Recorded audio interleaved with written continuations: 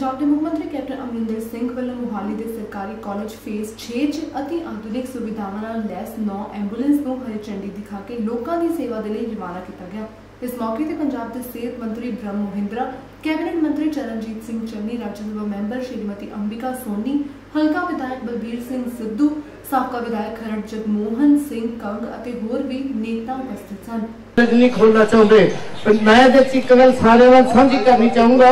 50 medical college government of India ਨੇ ਰੱਖੇ ਸੀ ਈਅਰ ਮਾਰਕ ਕਰਕੇ। 60 40 ਦੀ ਰੇਸ਼ੋ 60 ਗਵਰਨਮੈਂਟ ਆਫ ਇੰਡੀਆ ਦਾ 40 ਜਿਹੜਾ ਸੀਗਾ ਉਹ ਸੂਬੇ ਦੀ ਸਰਕਾਰ ਦਾ।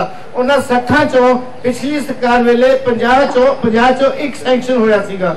ਉਹ ਸੁਖੀਰ ਬਾਦਲ, ਉਹਨਾਂ ਨੇ ਪਿਛਲੀ ਸਰਕਾਰ ਨੇ ਲਿਖਤ ਰੂਪ ਚ ਨਾ ਕੀਤੀ ਹੋਈ ਸੀ। ਮੈਂ ਜਦ ਫਾਈਲਾਂ ਦੇਖੀਆਂ ਟੇਕ ਓਵਰ ਕਰਦੇ ਹੀ ਮੈਂ ਆਪਣੇ ਆਫੀਸਰਸ ਦਿੱਲੀ ਭੇਜੇ ਕਿ ਕੋਈ ਕਿਸੇ ਤਰ੍ਹਾਂ ਇਹਨੂੰ ਅਸੀਂ ਦੁਬਾਰਾ ਸ਼ੁਰੂ ਕਰ ਸਕਦੇ ਹਾਂ ਇਸ ਪ੍ਰੋਜੈਕਟ ਨੂੰ। ਬੜੀ ਮਿਹਨਤ ਨਾਲ ਤਾਂ ਜਾ ਕੇ ਮੈਂ ਆਈ।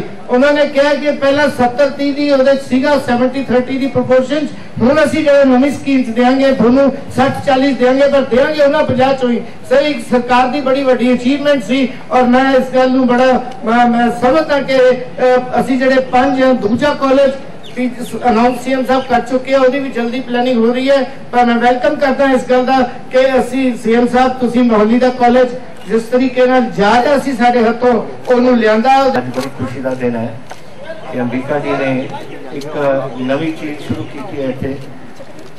ਐਂਬੂਲੈਂਸ ਪੂਰੀ equipped, ਹਰ ਪੱਖੋਂ ਇਕਵਿਪਡ ਨੇ। ਜਿਹੜੇ ਇਹਨਾਂ ਨੇ ਆਪਣੇ ਹਲਕੇ ਵਾਸਤੇ ਕੀਤੇ ਨੇ।